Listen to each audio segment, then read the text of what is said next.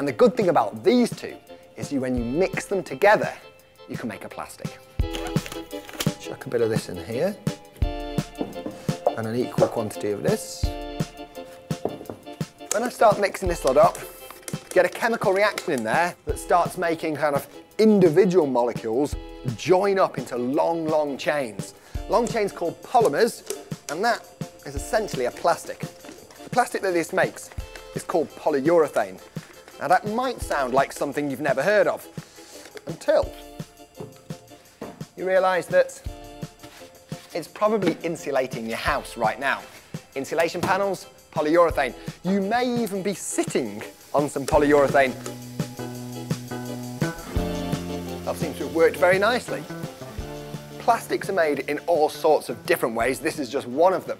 So if all these plastics are made from stuff derived from crude oil, is there a chance that these plastics can be turned back into something like crude oil? Or ideally, something like petrol or diesel that can power vehicles? I'm going to try to cook up diesel from waste plastic. The first stage is to vaporise the plastic without burning it. So I'm making a super hot oven and a cooking pot that's airtight and oxygen free. Had to uh, adapt it slightly. There's one more element to the build. Not only is a normal oven not hot enough for the process, a normal cooking pot isn't quite up to scratch either. So, I've built my own. So the plan is to put my waste plastic into the pot here. The ideal cooking temperature is between 350 and 400 degrees. Time to switch on the oven. Let's cook some plastic. Soon it's going to get hot enough to start breaking down the plastic polymers that I put in my cooking pot. At that point, they start forming flammable vapours that they're going to rise up here into this condensing column. There, hopefully, they'll condense and cool into some kind of liquid fuel, which will collect in here with the plan that we tap it off and run an engine on it. As it melts, the plastic breaks down into different length molecules, depending on the temperature.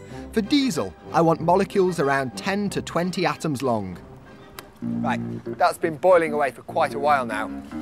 Now let's see what we've managed to collect. Well, it, it certainly looks encouraging. Well, there's no doubt we've made a highly flammable liquid fuel from waste plastic.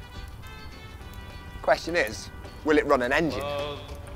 Is it burning? I can tell my fuel is too flammable to be pure diesel, but with help from some friendly chemists, I can separate it out.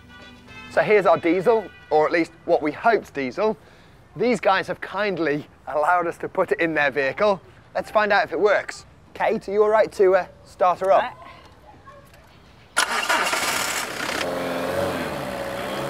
Keep going. Look at the level on that's dropped down. This car is running on diesel that used to be plastic, waste plastic at that.